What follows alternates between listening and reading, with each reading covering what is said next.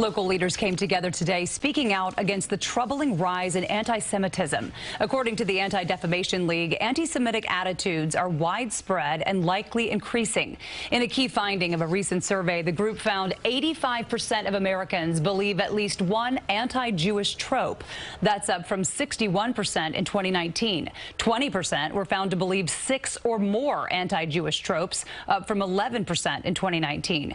The ADL says this is the highest increase in decades. Congressman Ritchie Torres says work needs to be done to stop this alarming trend. We must address the root causes. We must address and confront the anti-Semitic beliefs that inspire the violence.